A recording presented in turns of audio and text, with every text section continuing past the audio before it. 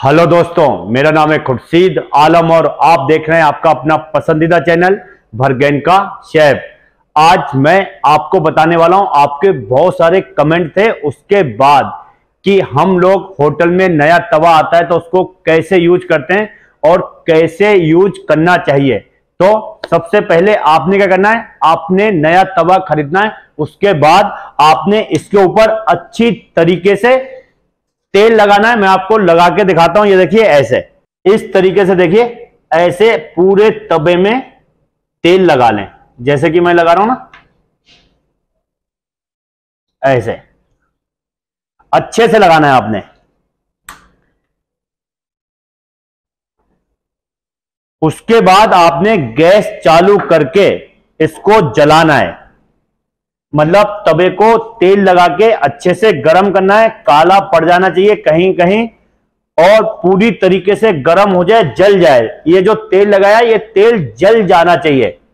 उसके बाद आपका तवा तैयार होता है।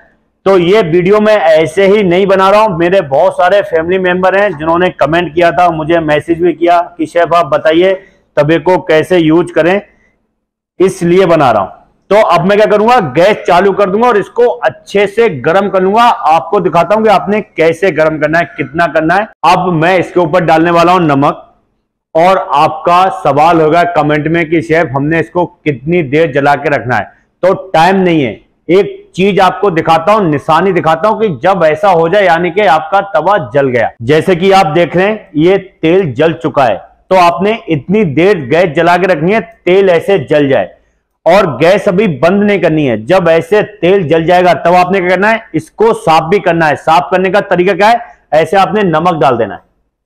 पूरे तवे पे नमक डाल दें। अच्छे से। और नमक डालने के बाद भी थोड़ी देर ऐसे जलाते रहें। गैस ऐसे ही पड़ा रहने दें। अभी फिर धुआँ निकलने लगेगा। उसके बाद आपको बताऊँगा फिर आपने क्या करना है। अब आपने एक ईट लेना है। आप आधी भी ले सकते हैं, लेकिन कब लेना है आपको दिखाता हूँ और इसका करना क्या है। जब आप नमक डाल देंगे और नमक ऐसे जल जाएगा, देख रहे ना, तब आपने लेना ईट और ईट को ऐसे रख के और आपने इसको घिसना है। इस तरीके से देखिए, दोनों हाथ से पकड़ के ऐसे घिसना है। अब आपका तवा एकदम साफ़ हो जाएगा, खूबसूरत हो जाएगा और एक बढ़िया चमक आएगी। देखे ना, ये होता है तरीका। और आपको एक बात बता दूँ, जब आपका तवा बहुत ज़्यादा गंदा हो जाता है, आधा आधा इंच मैल जम जाता है, पता है ना आपको जम जाता है, आप साफ़ नहीं करते तो आपने साफ़ भी इसको ऐसे ही करना है सेम तरीका है।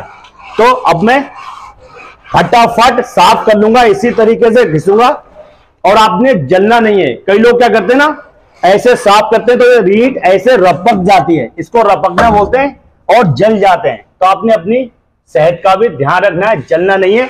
अच्छी तरीके से ऐसे साफ़ कर लेना है।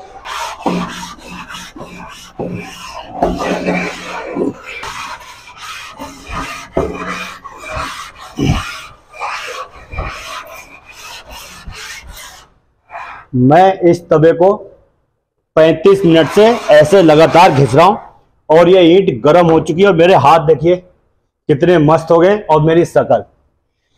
तो अगर आपने अपना तवा ऐसे चमकाना है हीरे के जैसे तो ऐसे लगातार घिसना है, कम से कम 40-45 मिनट। और ये नया तवा है तो ये क्या है, ऊँचा नीचा भी है तो इसमें घिसने में बहुत ही टाइम लग रहा है।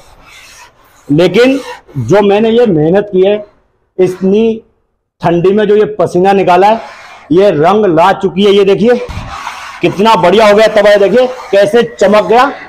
और ये आपने घिसना कैसे है? गैस चालू रहना चाहिए, गैस बंद नहीं करना, इस चीज़ का भी ध्यान रखना है। चालू गैस में ऐसे घिसना पड़ता है। अब देख रहे ना आप, कितना मस्त हो गया। तो अब मैं क्या करूँगा? पहले इसके ऊपर से नमक हटा लूँगा। कैसे? आपको दिखाता हूँ। आपने यहाँ से स्टार्ट करना है, देखिए।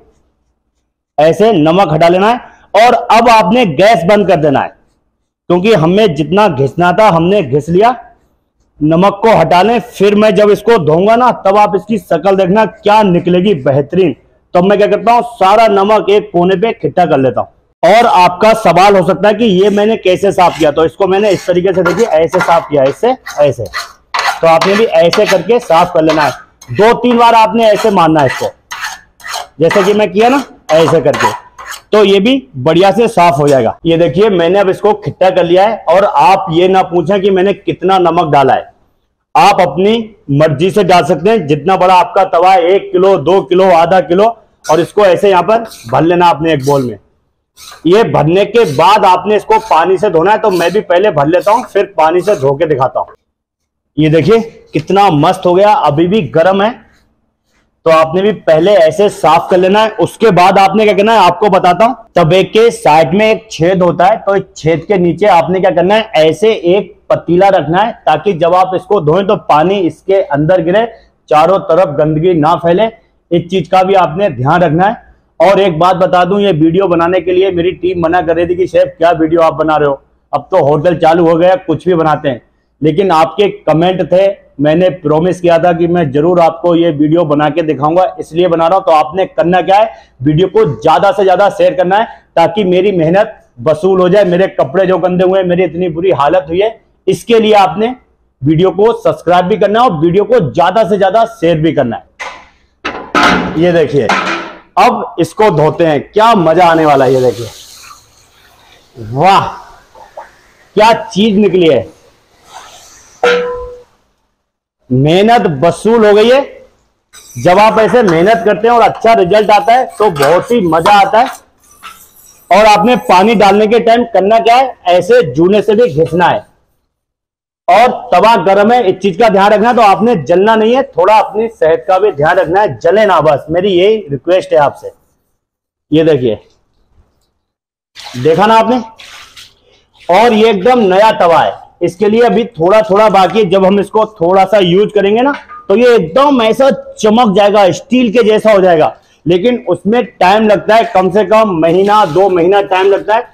अभी इसको हमने यूज़ नहीं किया है। इसके लिए अभी थोड़े बहुत निशान है, बराबर घिसा नहीं गया है।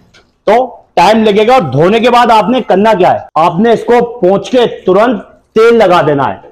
और जब आप इसमें ढोसा लगाएँगे तो अगर ढोसा ना छुटे तो आपने क्या करना है? प्याज को काटना है और ऐसे रगड़ लेना है, तब तो आपका ढोसा आसानी से छुट जाएगा। तो वीडियो देखने के लिए थैंक यू ज़्यादा से ज़्यादा चैनल को शेयर करें सब्सक्राइब करें और लाइक भी करें।